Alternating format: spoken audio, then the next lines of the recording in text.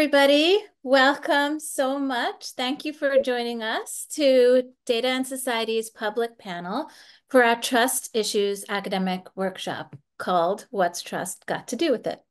I'm Sareeta Amrute. I'm the director of the Trustworthy Infrastructures program here at Data and Society, and I'll be your host with the support, support of Tanika Onekikami and Rigoberta Lara Guzman from the events team.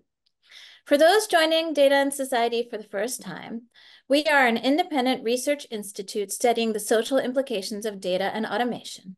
We produce original research and regularly convene multidisciplinary thinkers to challenge the power and purpose of technology in society. This year, Data and Society turns 10, and I'm excited to be celebrating the anniversary with this event. You can learn more about what we've accomplished and where we're headed on our website, dataandsociety.com net. Actually, it's datasociety.net, no and. Um, so today's discussion, What's Trust Got to Do with It, takes on the pressing question of how communities of color and other minoritized communities conceptualize trust and technology. Our panelists will talk us through how AI systems and other data-centric technologies come to trust and distrust us, and how in turn members of different communities come to find trustworthy information online. We will ask, we will also talk about what it means to be a researcher and a practitioner working to understand the institutional and relational politics of technologies and what it means to be asked to speak to and for communities of color. During our discussion, we'll use the chat function to post links and ask you to share your experiences. To ask or upvote questions for us, please use the Q&A feature at the bottom of your screen. We've set aside time to address those too. Our guests today are Chelsea Peterson Salahuddin, Irene Solaiman, and Jason D'Cruz. Chelsea Peterson Salahuddin is a President's postdoctoral fellow and incoming assistant professor at the University of Michigan School of Information her research focuses on the culturally specific ways marginalized communities, most often Black women, femmes, and queer folks, engage with mass and digital communications technologies to seek information, produce knowledge, and build community, and how the infrastructures of these technologies helps these communities to overcome or continue to replicate systemic barriers to equity. Irene Solaiman is an AI safety and policy expert and head of global policy at Hugging Face, where she is conducting social impact research and leading public policy. Irene serves on the Partnership for, on AI's Policy Steering Committee and the Center for Democratic Technologies AI Governance Lab Advisory Committee. Jason D'Cruz is Associate Professor of Philosophy at the University of Albany SUNY and the principal investigator of trustworthiness from a user perspective, a multi-year project supported by the SUNY IBM Research Alliance. He is also the faculty advisor for the University of Albany's Minorities and Philosophies chapter. Welcome to all of you, and thank you so much for being here today. So I'm going to throw out the first very broad question for all of you, which is, how do trust and mistrust show up in your work? Chelsea, do you want to kick us off? Yeah, sure. Um, so a lot of my work is specifically looking at the ways that women of color and Black women um, are discerning trust in information. And that can be news information specifically, um, and it can also be information broadly. And I'm really trying to think about well, what are the things that signal to them that either this source of information or this information generally can or cannot be trusted. And often that is really rooted in their own lived experiences um, and in how well they trust that an institution or uh, technology or a corporation that owns a technology is really thinking about their needs and their lived experiences and the way they are living and walking through and perceiving the world and whether that's being reflected in that information. So I think that's kind of the key way that it continually um, is showing up in the work that I'm doing um, and really trying to understand um, kind of what are the ways in which institutions or technologies um, are really not living up to kind of the standards of trust that communities of color, specifically women of color and Black mm-hmm. women, have, um, the ways in which distrust has fostered historically over time, um, and what is it that these institutions really need to be thinking about and doing to build trust in these communities, um, kind of not just as a we want you to trust us, so we are going to, you know, do something that kind of feels very surface level, but continually build trust and rebuild trust over time. Mm, thank you so much, Chelsea. I'm going to pass to Irene, as I think Irene might have some ideas about what institutions need to start doing to do a better job on building trust. I have many ideas, and I also want to hugely emphasize the what Chelsea was saying around information. And just to give some background, I come from more of a generative AI background. And when we're thinking about trust, we're thinking about levels of information and outputs, including with what generative AI systems are able to generate, human or AI generated. I've worked on these systems for a very like as long as most people can. Um, and I can't tell the difference. Like throwback to Pope Balenciaga completely got me. And especially for what's particularly affecting women of color, but affects everybody, affects women and particularly women of color is, is NCII, is non-consensual intimate imagery. And I think that just needs a lot more attention. So there's there's information and outputs. There's the system level of trust. How much do we uh, trust systems to reliably give us accurate information or you know not harmful information and then to your point sareeta around institutions we uh, i'm in a very interesting spot at, at hugging face so kind of think github of ai where we host many types of models artifacts components of systems and all of the considerations that come with being part of a platform including trust among contributors and users uh, trust that comes with having user accounts and protecting private information. Uh, there's there's many many layers, at least in the AI world. For those who don't know, can you just tell us quickly what Hugging Face is? Yeah, so kind of think GitHub of AI. So we're a repository and a space for a community, really, of open source and open science uh, with a mission to democratize good machine learning. So we have, we're really the power of a global community who are contributing to data sets, models, uh, these kinds of spaces to make sure that AI is working best for everybody. And Jason, you have a little bit of a different perspective. I'd love to hear from you about trust and mistrust in your work. I think you might be on mute. Oh, there we go. Sorry about that. Um, so thanks, Anita. There's so there's a lot of discussion about trustworthy AI, and it's become kind of a buzzword um, about what are the features, uh, characteristics of an AI system that would make it uh, fitting for and safe for humans to trust it. And I'm coming at it from a slightly different perspective, thinking about um, the use of AI to make determinations of human trustworthiness. So it seems like we're coming to a point where um, there are more and more um, decisions about or forecasts of um, people's likelihood to do things like uh, repay a loan or to cheat on a test or to show up for a bail hearing um, that are being powered by machine learning, and that um, and these systems are getting better and better at forecasting behavior. Um, but forecasting behavior and assessing human trustworthiness are two different things. And um, so, one thing that we're really trying to, I'm working so with a group um, that we're really trying to emphasize is that trust, human trustworthiness, is a matter of having certain kinds of distinctive motivations, reasons for your action um, that don't always show up in behavior. So, um, how a person behaves is often a function of the opportunities that they have, the environment in which they're um, living, and um, we want to have to we have to understand these things in order to understand what their reasons and their motivations are. And so even if we get better at forecasting behavior we do not ipso facto get better at assessing human trustworthiness. And so it's kind of a call for some caution um, as we move towards a society where more and more opportunities are afforded on the basis of risk assessments and risk scores, um, that just because we're getting better at forecasting behavior doesn't mean that we're getting better at understanding or assessing human trustworthiness. And I see a lot of nods. So Chelsea, do you want to come in there? Um, yeah. So I, yeah, I do think that um, there is a distinction between, I think, what we can surface level see as somebody's behaviors and whether or not they're discerning trust, right? Um, so a lot of women of color, Black women I speak to, right? They may be certain technologies, there may be certain news institutions that they go to for news, right? That's their behavior.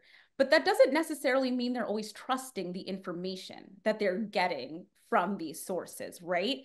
I think what they do is they develop um, tactics, they develop critical lenses through which they then filter their information. So, kind of similarly to what Jason was saying, right? There's a difference, I think, between behaviors and how people move throughout the world, almost sometimes out of necessity, right? Thinking about, um, as you were saying, opportunities can dictate behavior, right? What is available can dictate behavior. But that's very different than having a trust in that technology or trust in that institution or building on that trust, right? And I think it would be um, a grave mistake in thinking about how to build trust and maybe even correct for distrust that has been built within you know communities of color to say just because a behavior shows that they are interacting with us means that they trust us right i think those are two mm. distinct uh, things that you're pointing to that i think that's why i was nodding because i think i see a, a very similar thing and to kind of mm.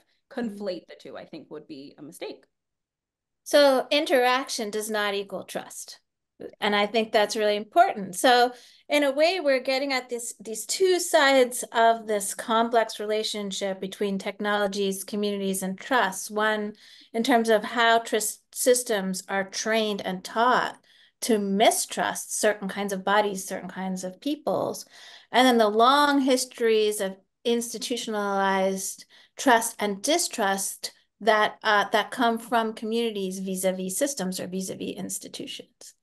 Um, Irene, I'm wondering in terms of the work you do with Hugging Face and specifically around auditing and understanding AI, how do you think about the ways in which communities can evaluate these systems or how the system should be built to be evaluated?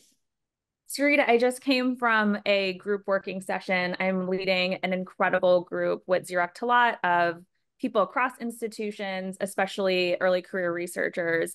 And uh, we're looking at the social impact of AI. So, an aspect of safety that looks beyond not just representational harms and biases, but also financial costs, privacy. A lot of what we found has been underrepresented in a lot of safety conversations for AI. And um, I, have a, I have a few rants here, but working with people who aren't um, always plugged into the highest level policy conversations, but have this incredible insight into the state of the field and the state of evaluations is one really concerning that we have a pretty comprehensive guide that will be published soon. Soon, I need to finish writing it.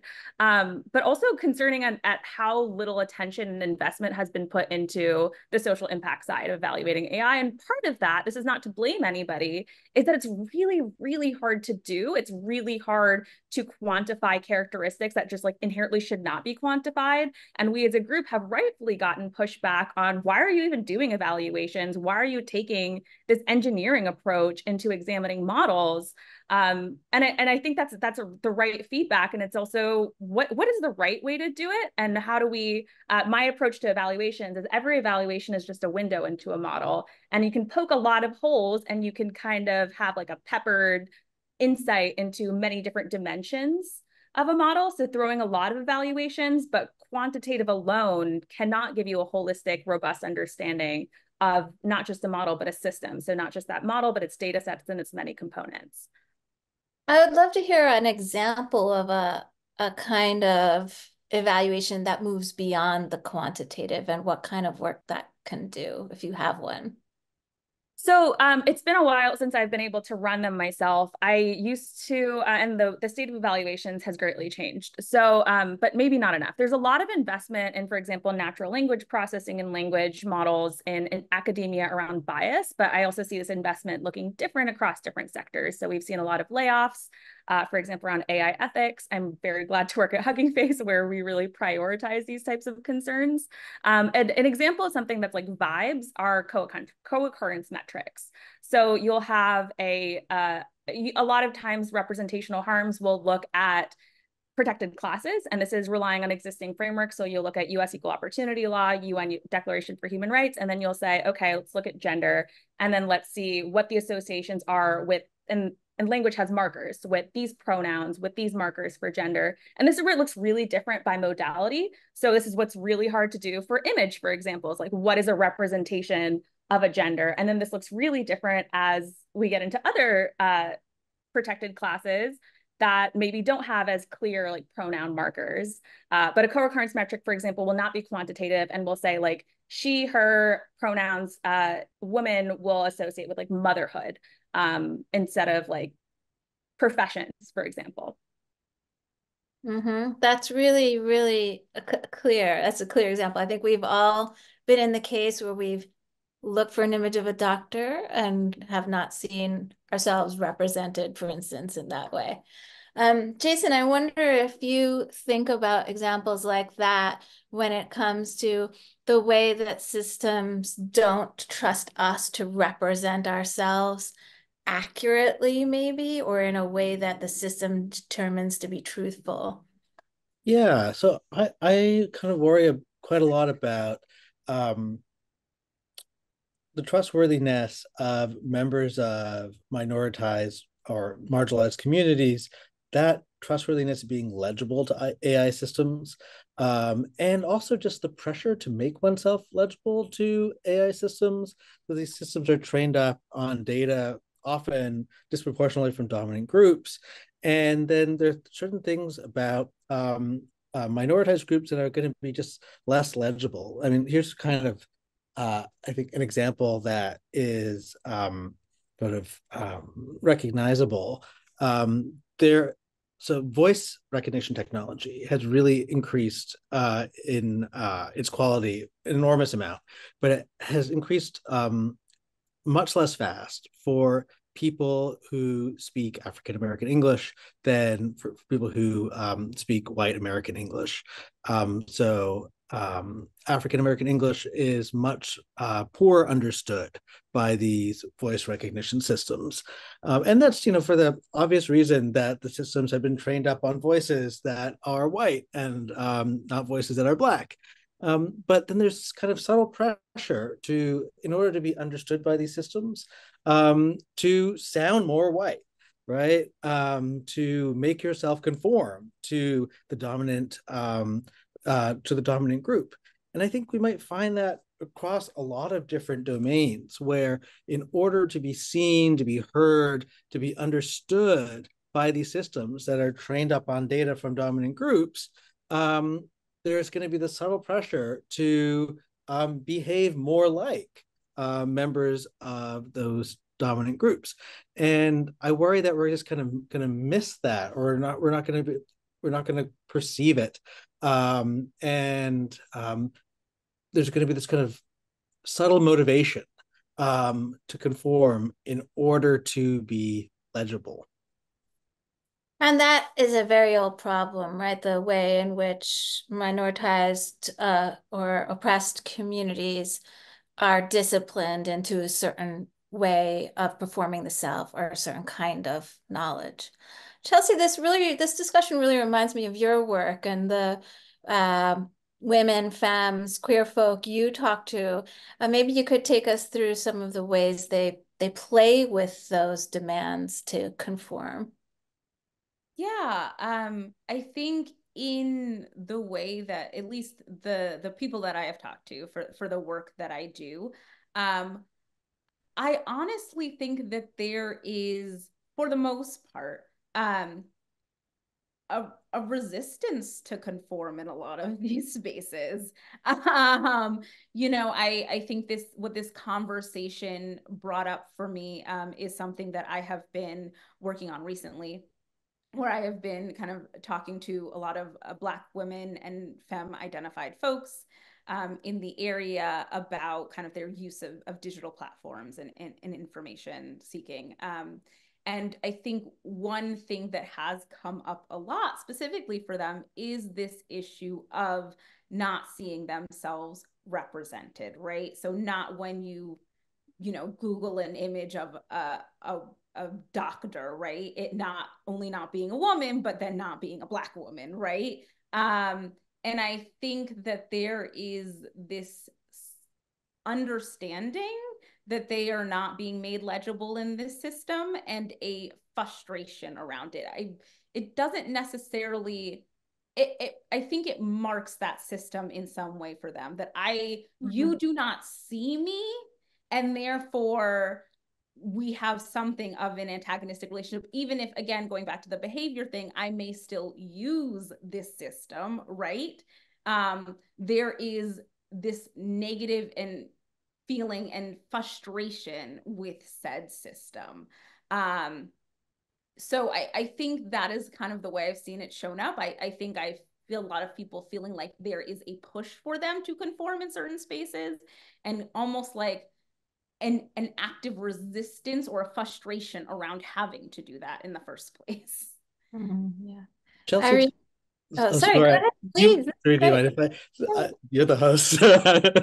but so what Chelsea says interesting to me, and it kind of just made me think about, you know, whether you think there's a kind of double bind where, so on the one hand, there's this um, desire to resist, not to conform in order to be legible. So, you know, just, you know, be who you are and um, don't try to change yourself to be legible to the system.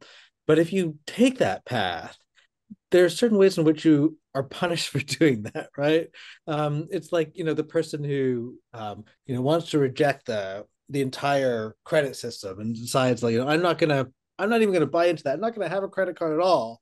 Um, and if you take that route which you can and that is a form of resistance there's a price that you pay for it. And i'm wondering if like do you see that as a double bind?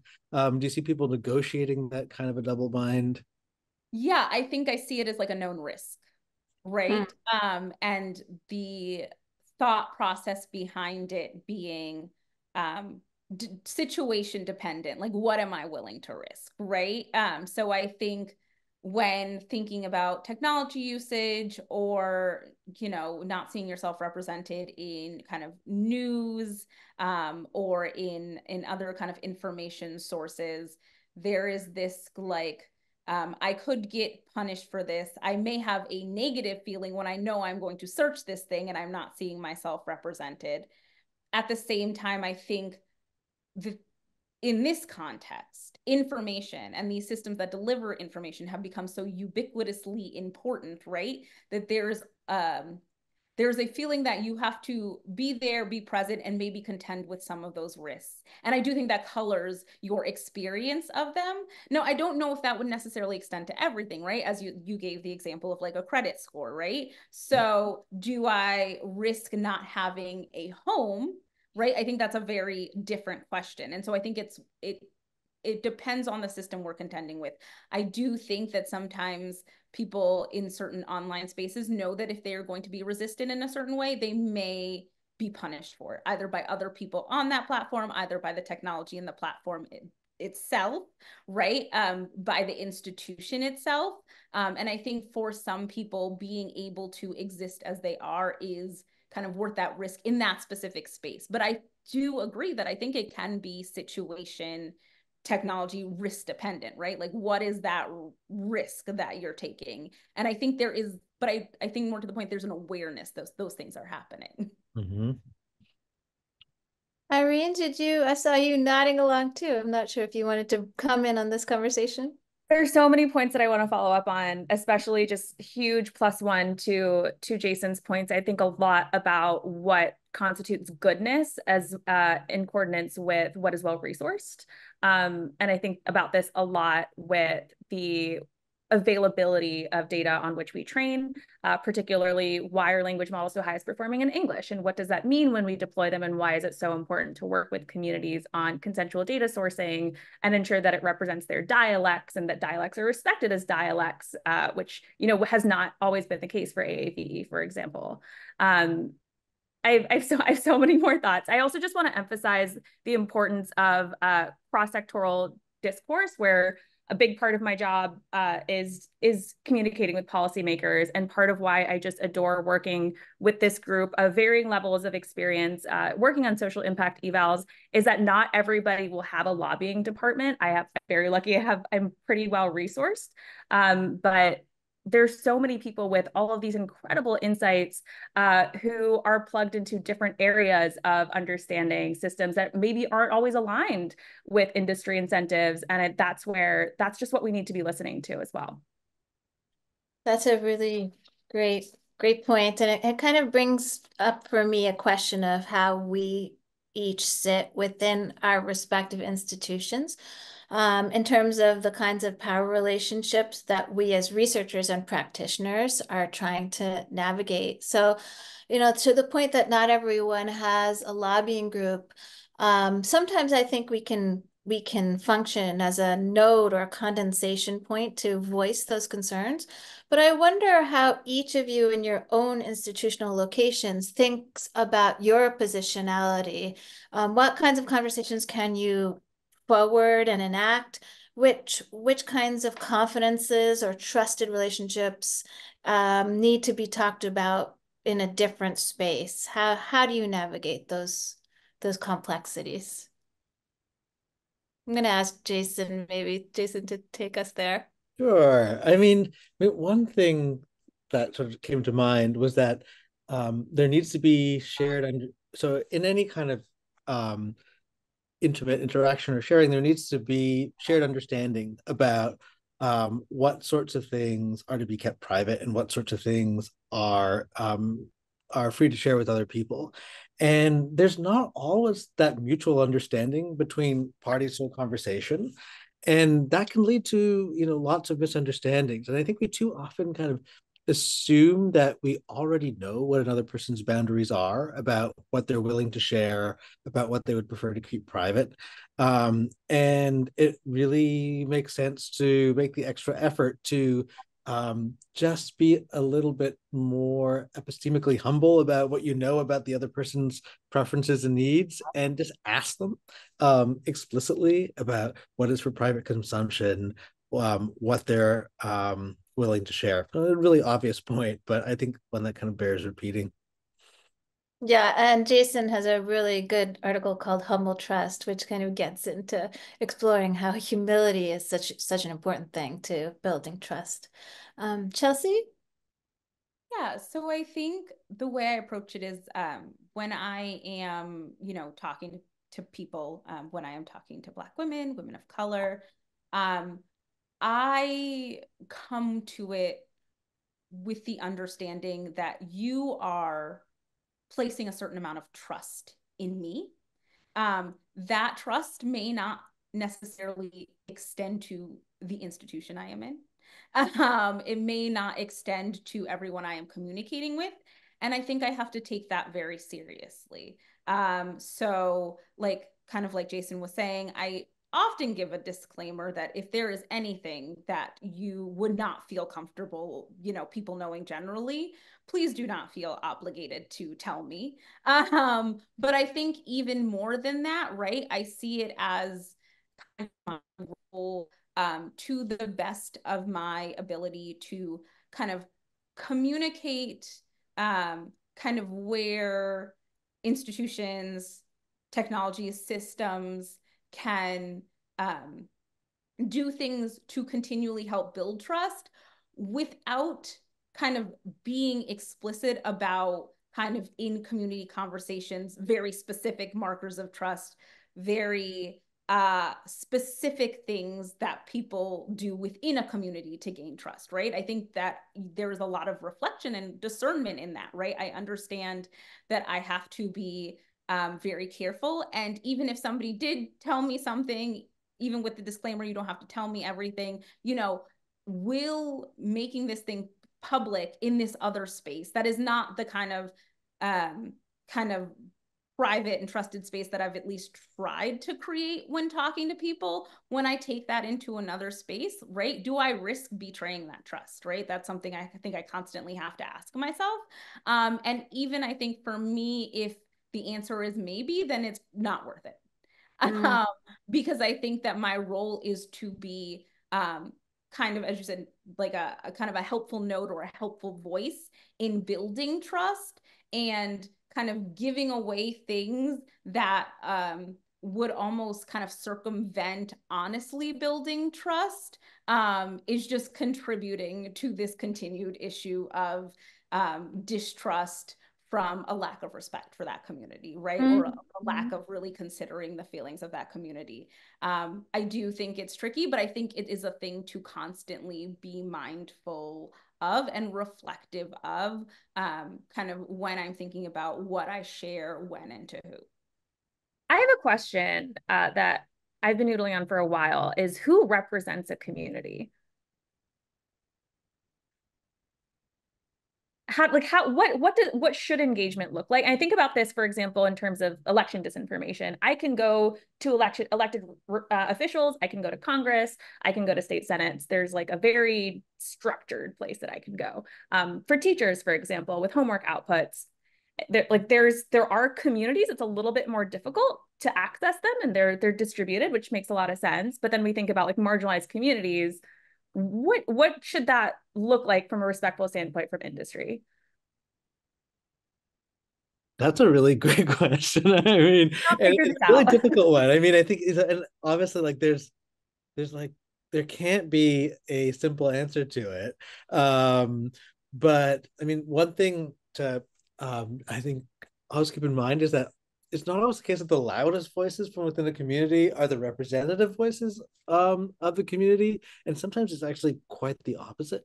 And there are all sorts of like interesting internal politics within these communities, and I think we also have like a very strong tendency to um, uh, homogenize um, minoritized or marginalized communities and to kind of want to paper over um, individual differences or internal um, um, disagreements uh, within the community.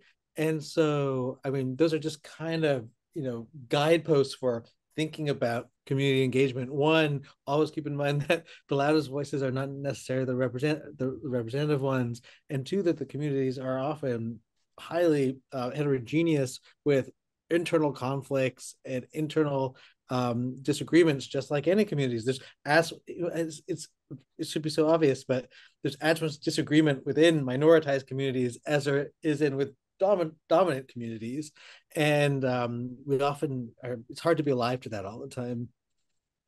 Yeah, and I think I would just kind of piggybacking on what Jason said. Um, I don't think that you can fully represent a community. Um, I think oftentimes even when i'm thinking about my work i'm very specific to be like the people in this room in this study um, but i do think that um, kind of to the point about like these communities are not monolithic is that i think actually paying attention to the nuances within communities or even sub communities right um, is really important. Um, i think that as you said you I, I think that the nuances help us understand why any kind of like monolithic approach to representing to building trust right is probably not going to work um, because even i speak specifically to women of color communities or black women communities and i feel like i'm always trying to point out even within this community i'm seeing different things. I'm seeing various perspectives and all of the perspectives that can be there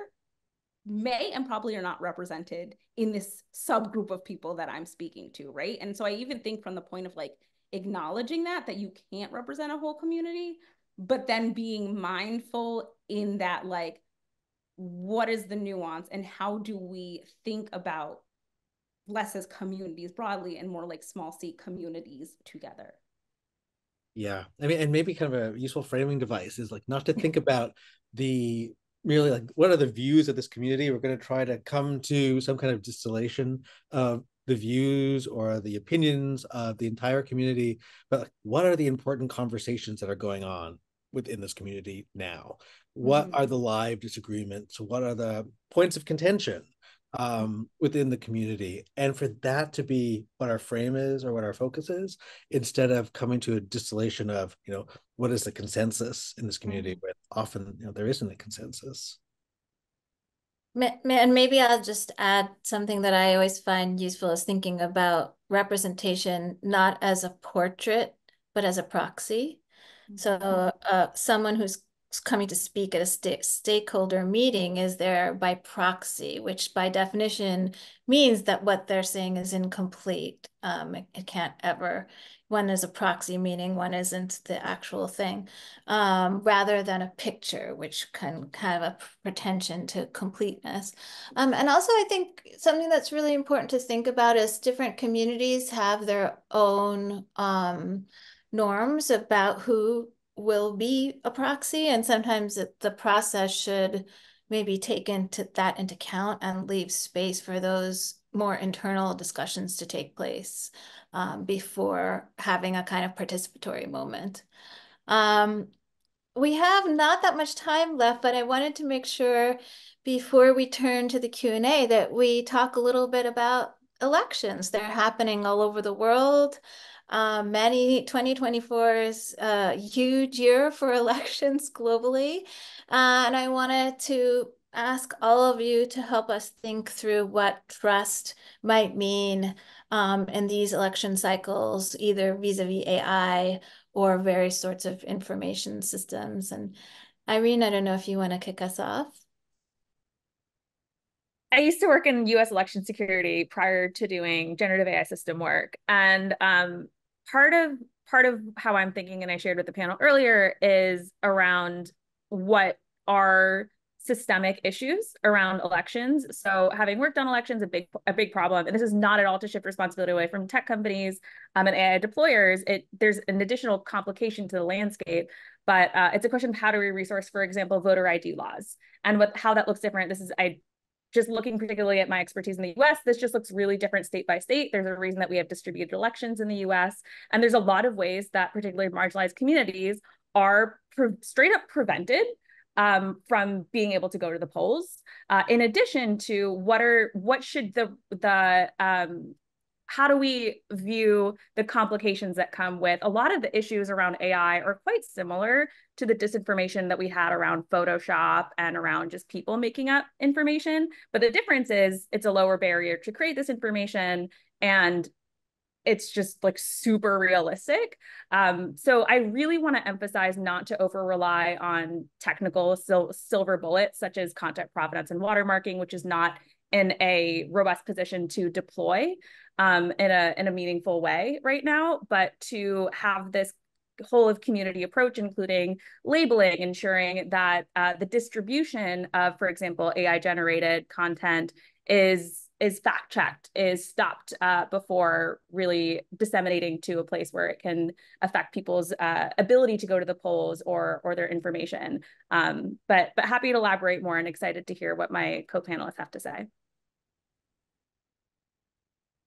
Chelsea?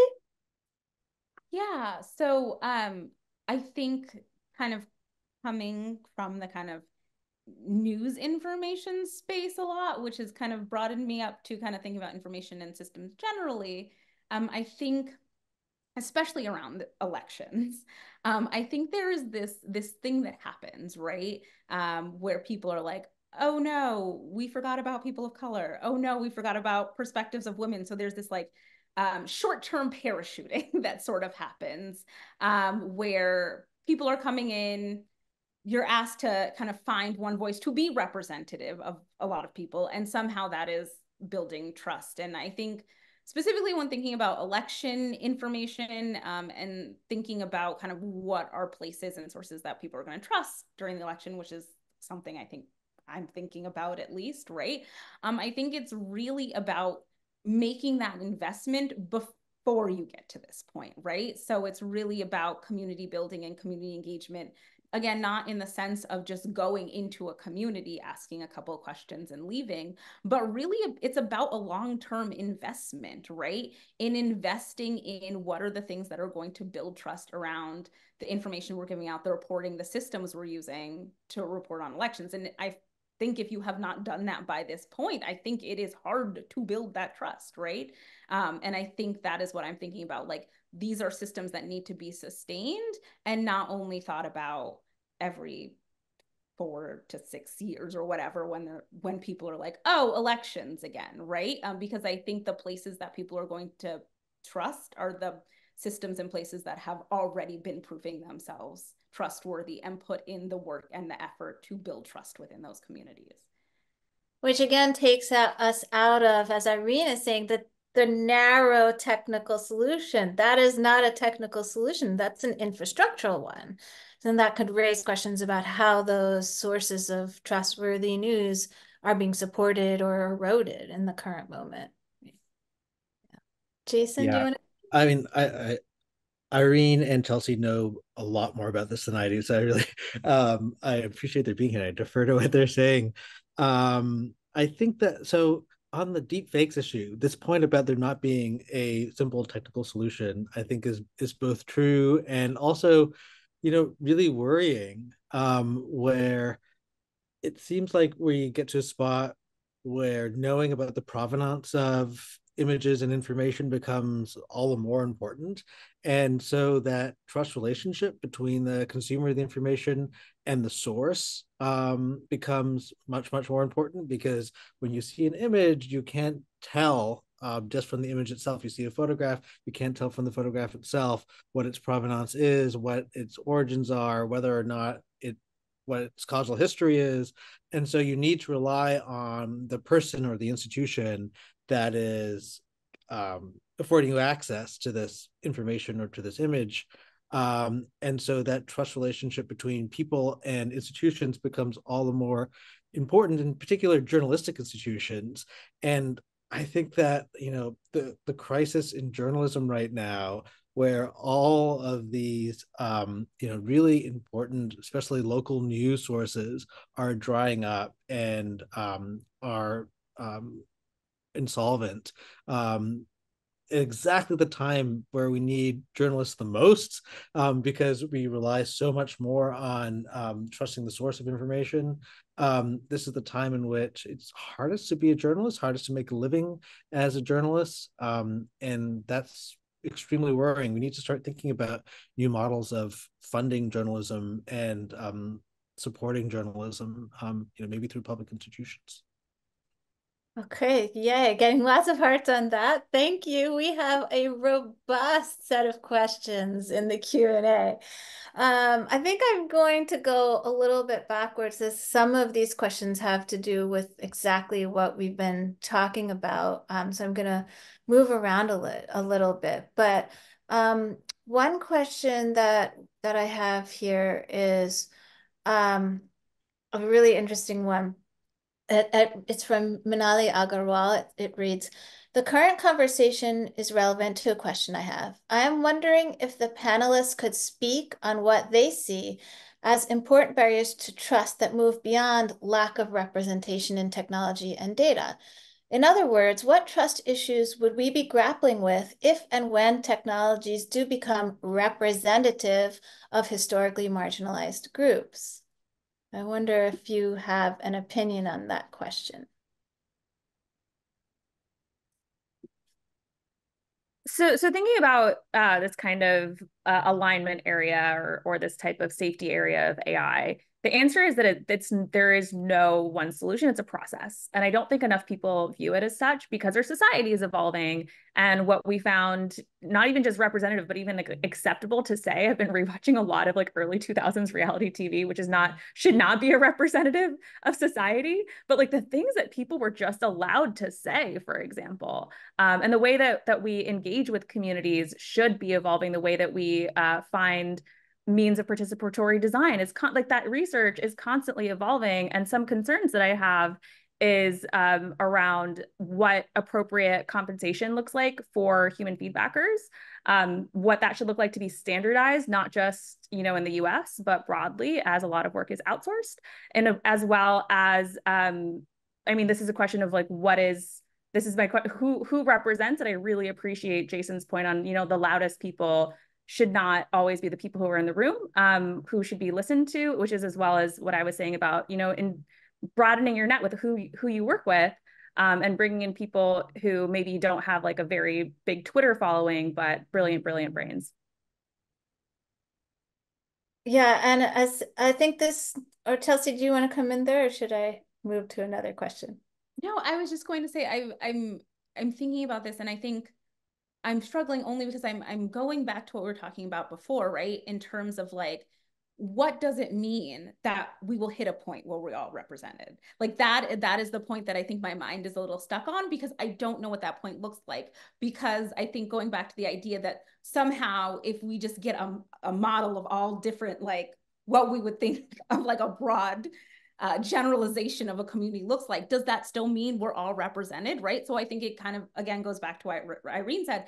It's a process. It's a process of calling people in, of working with different people to even, I don't even know if that's a point we can reach, right? Because it is this continual process, right? Of really understanding what do these different facets of these community look like, need, and how do we get at the nuances of that really, right? Um, so I, I think that's kind of what I'm thinking about in that question. Like, is is that a, a thing that we think we can achieve or we strive for? Or is it, I think, this continual process that we have to kind of engage in kind of in a very nuanced way that we are far from, but we'll have to continue to iterate and progress. Yeah, I think it's also it's a really good question and one that um I would have to think about quite a bit more. But um one so even after the point at which we so we arrive at a uh, at a situation where we have you know good representation of people of color, we've got good representation of women, we have a good representation of sexual minorities. Um, there there still is this kind of conflict between corporate power and civil society. And you might still, you know, rightly ask, you know, whose interests are being served by these technologies. Um, and you know, even when on the corporate board you have people of different colors and different genders, um, there's still the question of like, are the interests of civil society really being represented um, by these technologies, and what role are these technologies playing in our democracy? Um, and so it's it's not just a, I mean the question of representation I think is a lot broader, which is really the point that Chelsea was just making. Yeah, and I think that relates to a que- an anonymous question um, along those lines. So I'll read out the question. I am working in the field of ethnic, ethical technology, and to be honest, I am feeling a bit tired at the moment as we have been talking for a while now about what is not working. But what is the next step? How do we go ahead, ahead to change the system when the technology infrastructure is owned entirely by tech giants? Yes, sure, we can build an app that can understand different accents or build more trust by having more representation in data, but by simply existing, even though the app or data is helping people, they are also reliant on cloud storage, computational power, all owned by big tech companies. Asking from a genuine place of curiosity, what do conversations like the, these, what are they contributing to? Yeah, so I mean, there's a, the, big question of like the role of capitalism in all this, um, and then and but then there's also you know smaller scale um, wins and solutions that we can still talk about, and we can you know it's not always you know uh, evil uh, corporations against um, uh, virtuous civil society. There's sometimes you know partnerships that that are that are really interesting. So on the one example I was talking before on voice recognition and there being a lack of representation of African American voices in the data set, um, there is a really interesting partnership with between Google and um, Howard University on collecting um, voice data from African Americans. And part of the way in which they're building trust is to have the data stored and owned by Howard University and not by Google. Um, and so, you know, that's that's not overturning capitalism, but I think it is kind of like incremental progress um, that we can laud and see as a kind of a model for for yeah improvement. Irene, do you want to add here from your perspective? Well, I mean, coming from more uh, of an open science community platform, a huge point of what what we're doing at Hugging Face is listening to people first and having i mean this like we would be truly nothing without the hugging face community. I really i really appreciate jason's example. I hope we see more of that um, and understand that people often know what works best for them um, but also recognizing that not everybody is going to have for example all the deep language model skills to understand that system. So part of why i started working around um, the, the type of AI that I work on is, for example, increasing um, accessibility. So better user interfaces, better ways for people to be able to give feedback to systems and ensure that the outputs that they look for are, are reflective of their needs. But I appreciate this anonymous question looking at, you know, what is the infrastructure and what we're building on? So to think about like, what is Hugging Face's business model? It's a kind of freemium GitHub-like business model. A lot of that's based off of compute. And there are, there is, there are very few companies that have the capacity to, to have the cost of these incredibly expensive centers.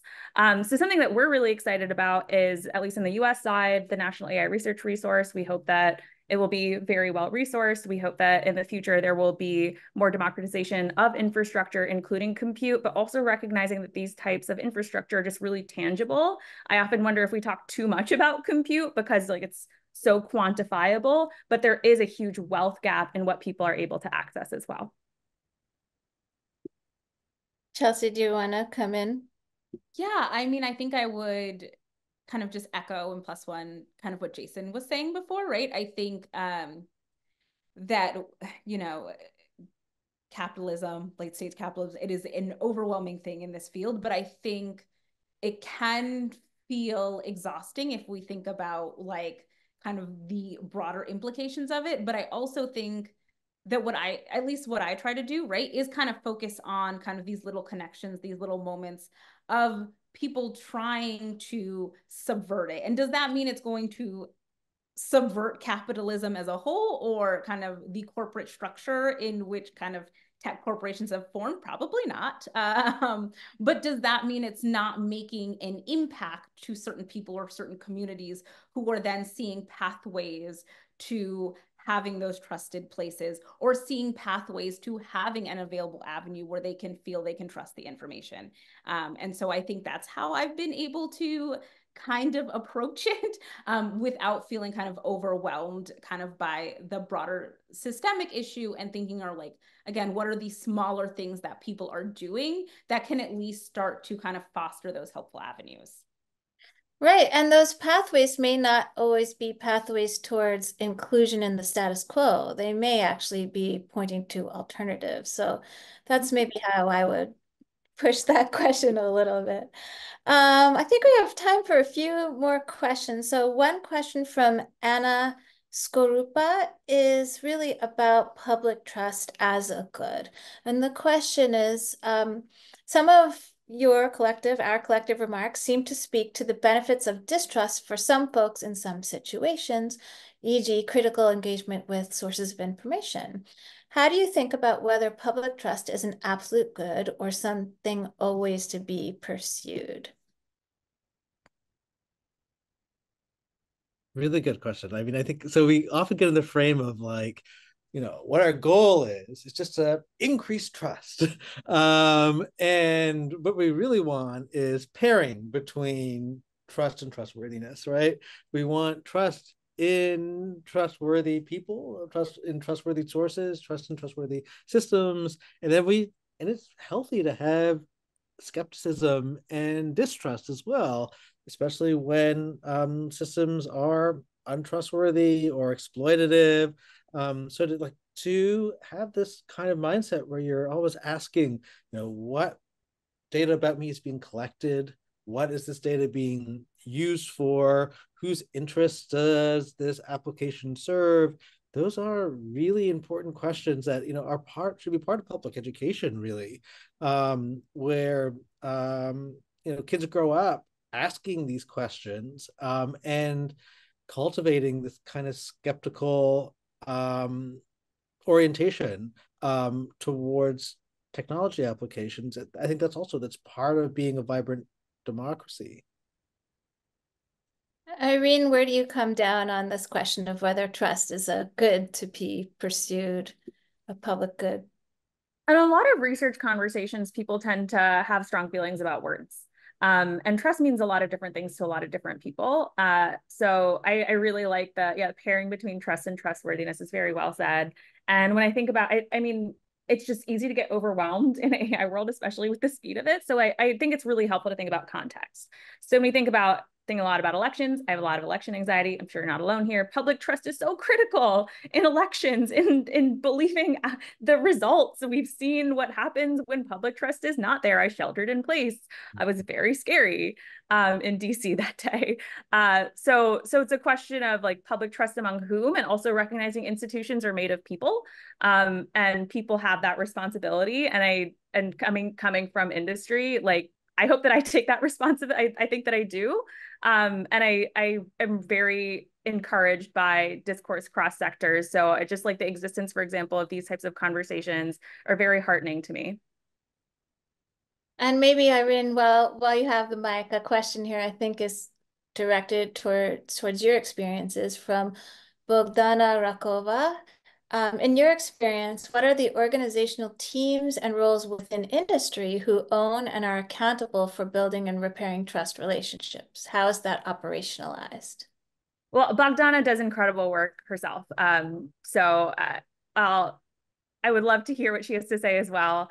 Um, so so not just not just within industry but broadly it's really easy so it's easy to say like everybody's responsible for safety and then that can diffuse responsibility as opposed to having somebody accountable. Um, and something that we do at Hugging Face that Dr. Meg Mitchell, our chief ethics scientist, has has really pioneered is having a um, a kind of it's not really a hub and spoke, but a means for everybody to be able to contribute to ethics, everybody from around the company. We see Microsoft do this as well, um, to be part of the conversation, to sync, and then also bring those lessons back to their respective teams, their respective work, and make sure that we also have visibility, especially in a very remote world where people are more comfortable working hybrid or remote, to ensure that lessons are shared among people. So, yes, accountability is key, but also being able to tailor tasks for specific work streams. Okay. And maybe a really big question can take us to the end of the session um, from my colleague Robyn Caplan. When is trust no longer a helpful frame? In light of what Chelsea has pointed out, that you don't have to trust a system in order to use it, what does it mean when we are asking people to trust AI systems that they might be dependent on anyway? Does trust even matter? Small question.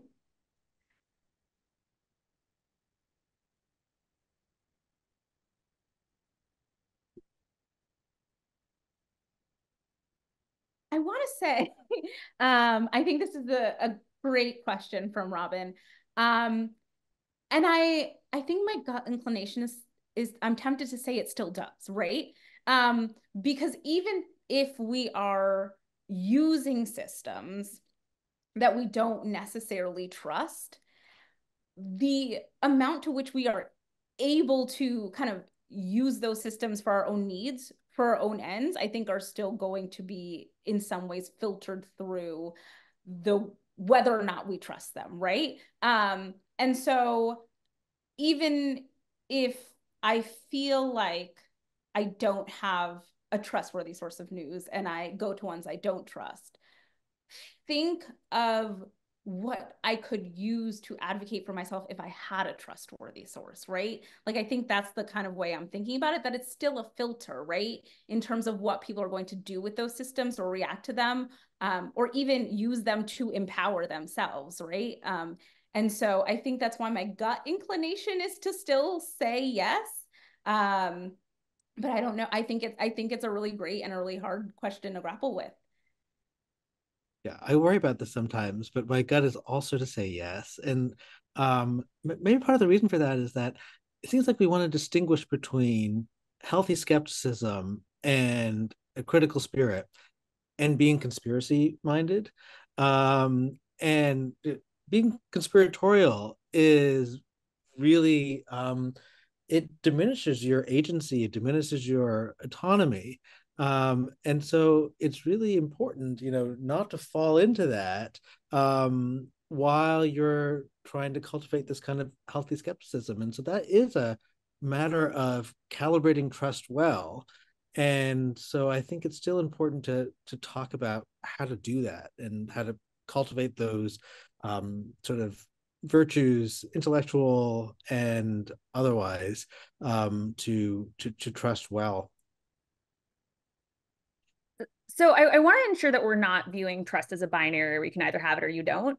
Um, and I really, this I've been thinking a lot about like healthy skepticism and what is the level of trust that you're willing to have. To Chelsea's earlier point about like at what point are you willing or not willing to to engage with the system? And this is where um, like I, you're getting a lot of insight into Irene's personal life. Like I'm on Instagram a lot as a pretty educated person about everything around data privacy and like body dysmorphia. Um, but like there there's a trade-off with the convenience, with the availability, with with the what what with what I get out of it.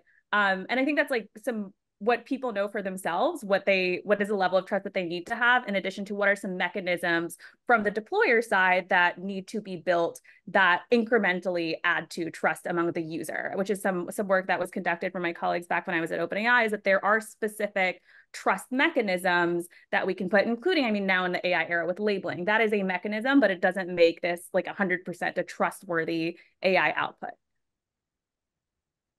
Amazing answers. And I think we are at time. So I just want to end uh, by thanking my amazing panelists, Irene Solaiman, Chelsea Peterson Salahuddin, and Jason D'Cruz. I appreciate you being with us today. Thank you, everybody. Thanks so much. Thank you for having me.